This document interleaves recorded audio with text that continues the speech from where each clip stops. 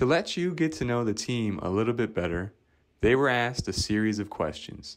And here are their responses. First off, what was your idea of assistive technology before you started with the program? And what is your idea of assistive technology now?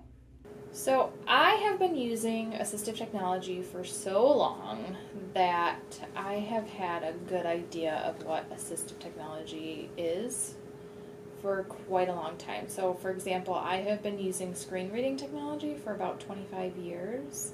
I wouldn't at that time, though, have thought that large print books or books on tape, as they say, would have been considered assistive technology. So I guess that's how my perspective has changed through the years, is that I realize so many things are considered assistive technology, right down to really low tech things.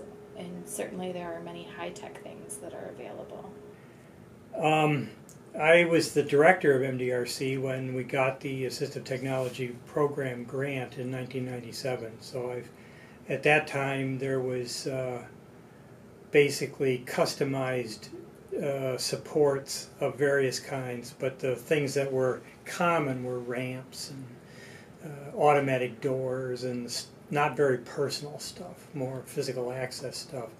And one of the big changes is, is that it's become possible to get something that actually solves a specific problem for a specific individual.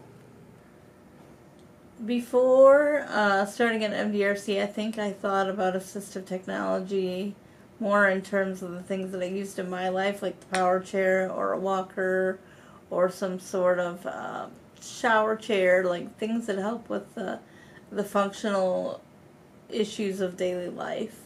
Um, and now that I've been here for 10 years, I, my definition of assistive technology has expanded greatly, and it really, to me, can be anything that can help people live more independently, whether it's a piece of equipment that you get through a durable medical equipment provider or not. It could be something like um, elastic shoelaces or a can opener. My idea of AT before starting this program was electronic devices, but now I believe it is anything that helps with everyday living.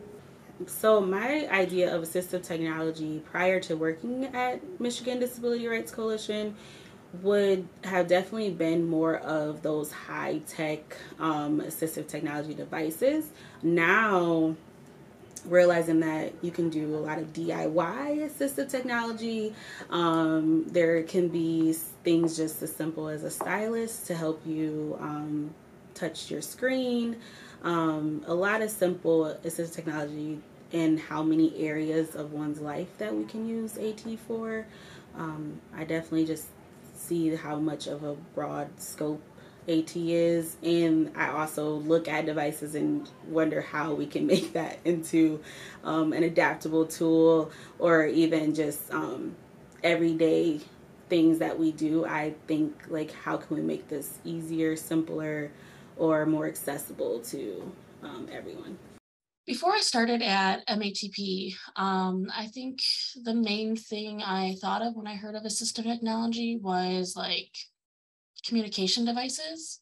And besides that, like most of it is like stuff you would find in a hospital. Um, and that is definitely not the case. I mean, there is assistive technology in the hospital, but I think that's also why I love working here is like you get to expand people's knowledge on what is assistive technology and like how it can help you in your everyday life. Um, I always thought AT was uh, high end, quality, expensive equipment. Um, and now I realize that it could be something as simple as like bells on top of a fishing pole to make you realize you have a bite. Yeah, I was definitely thinking more spaceships than spatulas um, when I first came here. Um, and uh, again, I think I said it before, that's just not the case. It can be um, anything um, that helps somebody live their lives and access um, the world. Uh, I really think my idea of assistive technology changed vastly as I've been working here. Um, before I started, I really thought it was just basic things like walkers and wheelchairs, and I really think that now I understand that it can be any sort of device, um, even down to low tech things that might help you um, cook. As I've been working here, you really get to learn the vast amount of technology that we have and how we're trying to further that access as a community and as a country. Next, what assistive technology do you use most often? So I have a vision impairment, and probably most often, generally speaking, I use screen reading technology, whether that is on my iPhone with VoiceOver or on my PC which uh, is JAWS screen reading technology. I would say the dis- device that I use the most is my Alexa um, smart speakers. I um, have mental health disabilities and use it to listen to music that can be calming or validating for my mood. Um, I have anemia and have brain fog and fatigue and use it for timers and reminders for medications and for appointments. Um, I use it for a lot of different things related to my disabilities. I use uh, memory note programs and organizational aids in my work and in my life. They, it just makes the complexity of modern life easier for me. Well, I have cerebral palsy and I'm in a power chair, so I'd have to say my power chair is the assistive technology that I use most often. Um, it's uh, molded and designed for my body. Feels like a part of my body to me. I'm I take pride in it. Uh, I call it the Flash because it's red and yellow. So um, I think I would say my power chair.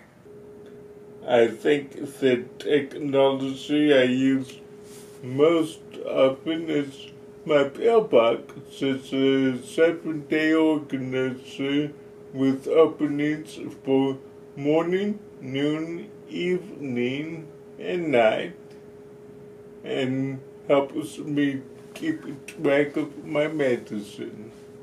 My phone definitely is always with me, and I have different um, accessible features on my phone to um, even help with like the way that I push buttons and um, where I can just kind of navigate everything on my screen. Um, and then that's also connected to my Apple Watch, um, and that's very helpful. And then on a day to day at work, um, I also use my um, sit to stand desk, so my adjustable desk. Um, I sometimes have um, issues with sciatica, so my watch actually reminds me to stand because if I sit for too long, then my back and everything is just a lot of pain. Um, so then when it's time for me to stand, I can just raise my desk and continue to work instead of having to stop what I'm doing? Probably Google Assistant. First thing when I get up, I ask it the time, the weather, even though I can set up a routine that it does it for me every morning, but I still haven't gotten to that. I use it for everything. I would say my phone, um, specifically Google Maps, and uh, that's probably about it. um, I probably use just like everybody, Hey Google, a lot when I'm driving. Um, in the winter, um, I have a pair of Yaktrax that have changed my life. Um, and you strap these things onto your boots, and it makes it so much easier. You're so much more confident when you're walking. Um, and that's the first thing I thought of when I thought of, you know, assistive technology can be high tech or low tech and everything in between. I would say the two things that I use most often are voice assistants from either Siri or Alexa. Um, I'm always asking Siri questions or my Alexa show questions. So I really just love to get quick answers. So I find myself using that technology the most. That's all for now. Thanks for watching and stay tuned for part three.